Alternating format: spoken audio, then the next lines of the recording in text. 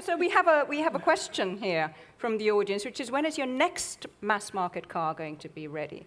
Because your current one Right. is uh, roughly what in price? Well, our current one is in, in US dollars, it's about $70,000. So it is a premium car. Um, and then we, we're, we're coming out with uh, an SUV version um, called the X. Uh, that's coming out next year. But also, that's on the same platform, so it's about the same cost. Um, the, the car that we, we're re- really looking forward to bringing to market is called the, uh, the Model 3. Um, and that's intended to be a mass market, long range electric vehicle.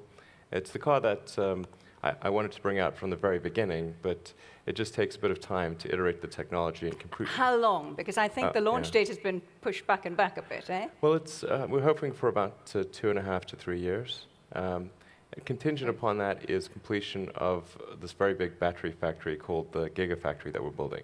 So tell us about that. Sure. So, the, in order to make a lot of electric cars, you need a lot of batteries.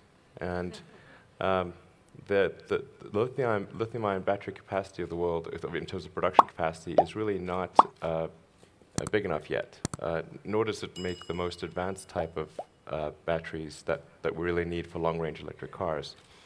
So, in order to solve that problem, we found there was really no choice but to build a really enormous factory um, called the Gigafactory.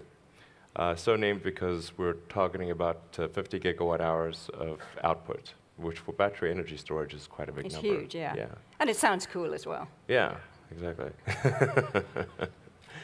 um, So, so are there any links, do you think, between the battery technology that you're investing in at the moment and renewables? I mean, would there be... yes, Yes, absolutely, absolutely. the stuff that you're developing is not just for cars? Can, Correct. some... Yeah, In- okay. In, fact, Tell uh, us a bit more about that. Sure. So uh, uh, about a third of the output of the, the Gigafactory is intended as stationary storage, uh, primarily to be paired with renewables, but also to do grid buffering in non-renewable situations, um, so that you can operate the plants, uh, even if it's a hydrocarbon uh, energy plant, you can operate it close to its optimum and avoid having to sort of peak. Um, the, yeah, so I, I think we'll see really a very huge demand for sta- stationary storage. Um, and this, this is really going to help out some of the more intermittent sources like wind uh, and solar. Um, and um, you know, it's worth noting, I'm not sure if people are aware of this, but it, it, the world could be powered many times over by solar if you had enough uh, battery capacity to pair it with it. Ma- many times, like The world? I mean, obviously California, where you're No. based, but in Europe? times Can you really say that in Europe? A thousand. it's literally true. The, the amount of energy that, that reaches the Earth from the sun is staggeringly high. We have this enormous fusion generator in the sky uh, that, that is lobbing out vast amounts of energy. And I'm, I'm talking about just using land area. I mean, it's, it's really amazing. In fact, here's a little tidbit.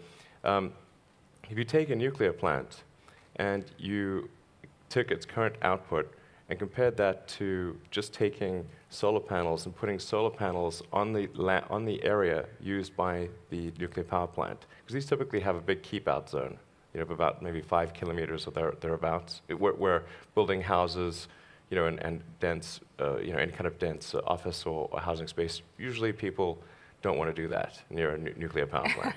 um, uh, so th- there's, there's quite a big keep out zone. And when you factor the keep out zone into, into account, um, the solar panels put on that area would typically generate more power than the nuclear power plant.